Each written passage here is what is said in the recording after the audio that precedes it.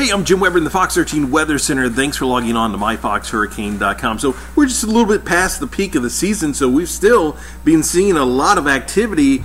It's just the activity hasn't really been doing much. Now, here's that big wide view. We've got Invest 98 uh, just to the south of Bermuda. We have subtropical storm Leslie. We were watching Kirk but as of the 11 a.m. advisory, they have discontinued the advisories on Kirk because they basically they've determined this is no longer a tropical system that does not have that closed low, that closed circulation. That is essentially the, the biggest rule that you have to have to have a tropical system. So we'll continue to watch that area, but at this point, it is uh, not considered a tropical system. So this is Invest 98. You do see a, a pretty good flare up of convection with this. It's just a, a broad area of low pressure right now. Now, as we go through the next, say, 24 to 36 hours, we've got this small window tonight and into probably uh, midday tomorrow uh, of conditions becoming somewhat favorable, lower wind shear across this system, which could allow this system to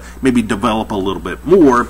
Uh, regardless of any development, it looks like it's going to brush up across the Carolinas and Virginia, could bring them some rain as we head towards the middle in the second half of the week. Uh, and after that little window, uh, it doesn't look like anything would likely develop with that system. So we'll watch it and we'll keep you posted as we go through the next several days. This is what is left of Kirk.